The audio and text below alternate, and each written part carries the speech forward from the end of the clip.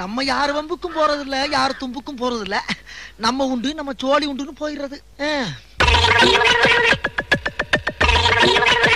வணக்கம். எட்டாயிரம் கோடி மக்கள் தொகை மேட்டரில் மதுவந்தி மேடம் தானாக முன் வந்து மன்னிப்பு கேட்டிருக்கிறாங்க. நான் சொன்னது தவறுதான் அப்படின்னு சொல்லிட்டு மன்னிப்பு கேட்டிருக்கிறாங்க.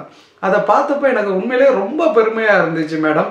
நம்மளுடைய குலப்பெருமையை வந்து நீங்கள் காப்பாற்றிட்டீங்க ஏன்னா மன்னிப்பு கேட்குறது நமக்கு என்ன இது என்ன புதுசாக என்ன?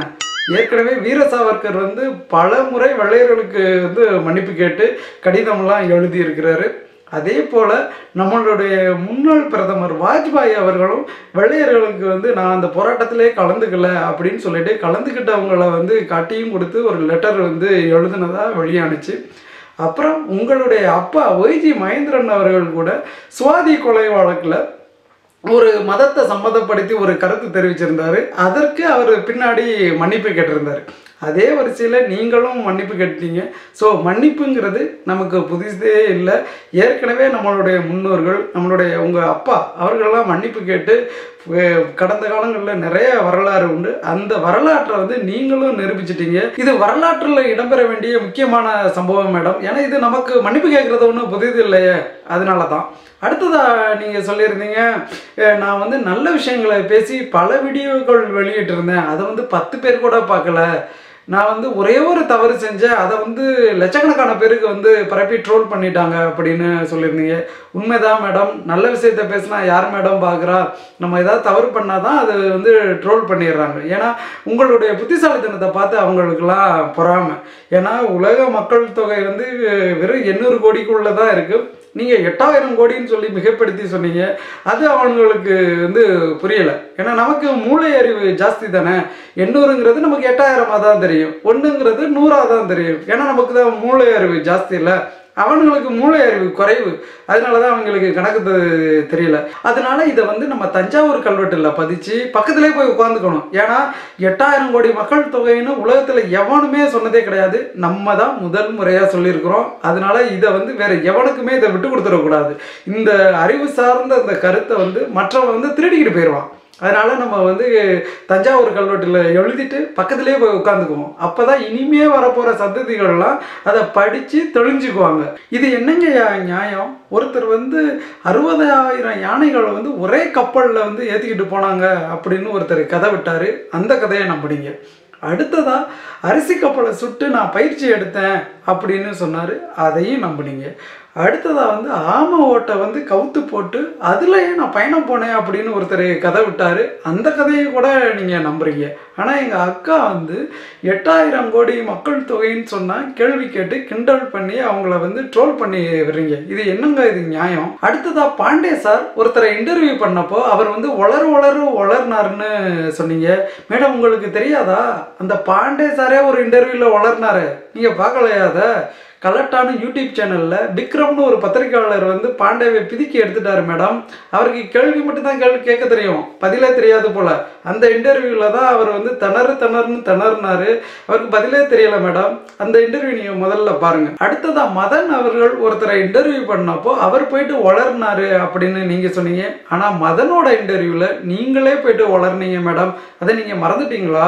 அதை பார்த்தப்ப எனக்கே ரொம்ப கஷ்டமாக இருந்துச்சு. என்னடா அது? நம்ம மேடம் வந்து இவ்வளோ கெத்தாக பேசுகிறவங்க அவங்களே போயிட்டு அந்த இன்டர்வியூவில் போயிட்டு திணறாங்களே அப்படின்னு ரொம்ப ரொம்ப மனசுக்கு சங்கடமாக இருந்துச்சு. உங்களுடைய ரசிகன் இல்லையாண்ணா அதை பார்த்தப்போ க கண்ணே கலங்கிருச்சு மேடம் ஏன்னா நீங்கள் ஒரு கட்டத்தில் டென்ஷன் ஆகி நான் வந்து பிராமண பெண் அப்படின்லாம் சொல்லி பார்த்தீங்க. ஆனால் அந்த ஆள் வந்து கேட்கவே இல்லை.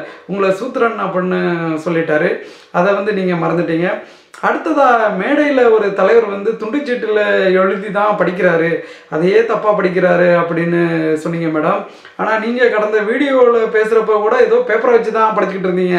அந்த எட்டாயிரம் கோடியை கூட அந்த பேப்பர்லேருந்து தான் பார்த்து படிச்சீங்கன்னு நினைக்கிறேன். அடுத்ததா திமுகவில் இருபத்தெட்டாவது இடத்துல இருந்த கலைஞர் அவர்கள் வந்து முதல் இடத்துக்கு வந்துட்டாரு. இருபத்தி ஏழு பேரை வந்து தள்ளி விட்டுட்டு முதல் இடத்துக்கு வந்துட்டாரு அப்படின்னு சொன்னீங்க. பாரதிய ஜனதா கட்சி ஆரம்பிச்சப்போ அந்த கட்சியை ஆரம்பிச்சது வாஜ்பாய் மற்றும் அத்வானி அத்வானி அவர்கள் இவங்க தான் சேர்ந்து ஆரம்பிச்சாங்க. ஆரம்பித்து ரத யாத்திரையெல்லாம் நடத்தி கலவரங்கள்லாம் பண்ணி இந்த கட்சியை வந்து இந்தியா முழுக்க கொண்டுக்கிட்டு போனது அத்வானி அவர்கள். ஆனால் இன்னைக்கு அத்வானி அவர்கள் வந்து உயிரோட தான் இருக்கிறாரு ஆனால் வீட்டில் இருக்கிறாரு. ஆனால் இன்னைக்கு பிரதமராக இருக்கிறது யாரு? மோடி. இந்த கலவரங்கள்லாம் நடந்துகிட்டு இருக்கிறப்போ மோடி எங்கே இருந்தாருன்னு யாருக்குமே தெரியாது. ஆனால் இன்னைக்கு வந்து நாட்டையே ஆள்றது மோடி அவர்கள். ஏன் நீங்கள் அதை மட்டும் கேட்க மாட்டேங்கிறீங்க மேடம்? எப்படி மோடி அவர்கள் கடைசி இடத்துல இருந்துட்டு முதல் இடத்துக்கு வந்தாருன்னு ஏன் மேடம் கேட்க மாட்டேங்கிறீங்க? அடுத்ததாக நீங்கள் சொன்னது எனக்கு கடவுள் நம்பிக்கை இருக்குது கடவுள் நம்பிக்கை இருக்கிறவங்க தப்பு பண்ண மாட்டாங்க அப்படின்னு சொன்னீங்க. சத்தியத்திற்கும் தர்மத்திற்கும் கட்டுப்பட்டவங்கன்னு சொன்னீங்க. ஆனால் உங்களுக்கு ஒன்று ஞாபகப்படுத்த விரும்புகிறேன் மேடம் காஞ்சி வரதராஜ கோயிலில் ரெண்டாயிரத்தி நாலாம் ஆண்டு அந்த ப- க- கோயிலோட கணக்காளர் சங்கரராமன் அவர்கள் வந்து கொலை செய்யப்பட்டார். கோயிலுக்குள்ளே வெட்டி கொலை செய்யப்பட்டார்.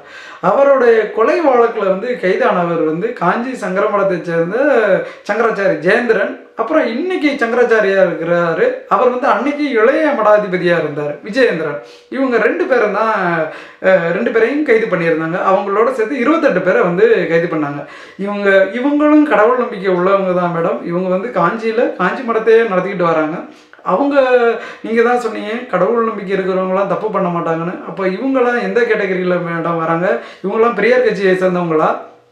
அடுத்ததாக காஞ்சி காஞ்சியில் ஒரு கோயிலில் வந்து கோயிலுக்குள்ளே ஒருத்தர் கசமுசா பண்ணார் ஒரு அர்ச்சகர். அவரும் கடவுள் நம்பிக்கை இல்லாதவரா? இல்லை கடவுள் நம்பிக்கை உள்ளவரான்னு நீங்கள் தான் மேடம் சொல்லணும். கந்து வட்டிக்கு பணம் கொடுக்குறவங்களோட அலுவலகத்துக்கெல்லாம் நீங்கள் போயிருக்கிறீங்களா மேடம் நீங்களாம் போயிருக்க வாய்ப்பே இல்லை. ஏன்னா நீங்கள் தான் பள்ளிக்கூடம் வச்சு நடத்துகிறீங்களே உங்களுக்கு அந்த மாதிரியான நிலைமை வந்து வந்திருக்காது. ஒருவேளை நீங்கள் வந்து கந்து வட்டிக்கு பணம் கொடுக்குறவங்களோட அலுவலகத்துக்கெல்லாம் போனீங்கன்னா அங்கே அலுவலகத்தில் முகப்புலேயே பெரும் கடவுள் படமாக தான் இருக்கும்.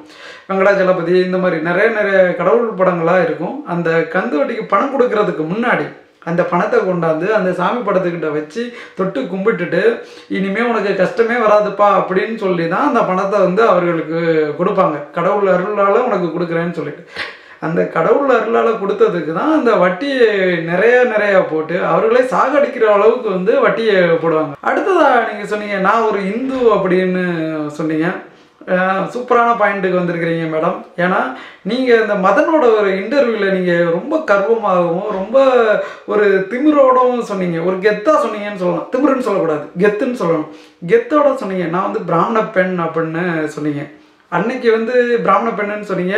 இன்னைக்கு உங்களுக்கு பிரச்சனை வரவும் உங்களை கிண்டல் பண்ணவும் நீங்கள் இந்துன்னு சொல்கிறீங்களா உங்களுக்கு பிரச்சனை வந்தால் இந்து பிரச்சனை இல்லாட்டி கெத்தா பிராமண பெண்ணுன்னு சொல்லிடுவீங்க போல். ஆமாம் ஏன்னா தமிழர்கள் வந்து இப்போ இலங்கை இராணுவத்துக்கிட்ட அடிபட்டு செத்தாங்கன்னா அவங்கள வந்து தமிழர்கள்னு சொல்லிடுவாங்க ஒருத்தன் கூட வந்து காப்பாற்ற மாட்டான். அதே தமிழன் காஷ்மீர் பார்டரில் பாகிஸ்தான் இராணுவத்திட்ட சுட்டு சத்தானா அவனை இந்தியான்னு சொல்லிட்டு இந்தியர்கள் எல்லாருமே கண்ணீர் விடுவாங்க. ரெண்டு பேருமே தமிழர்கள் தான். காஷ்மீரில் ஒருத்தன் செத்தானா அவன் இந்தியன் ஆயிடுறான். கன்னியாகுமரியில் ஒருத்தன் செத்தானா இலங்கை இராணுவத்தில் அடிபட்டு செத்தானா அவன் வந்து தமிழன் ஆயிடுறான். அப்படி தான் இந்த மீடியாக்கள் சொல்லுது. அதே போல தான் நீங்கள் உங்களுக்கு பிரச்சனைனா இந்துன்னு சொல்லிடுவீங்க. பிரச்சனை இல்லாட்டி பிராமண பெண் அப்படின்னு ஜாதி திமுறை காட்டிடுவீங்க.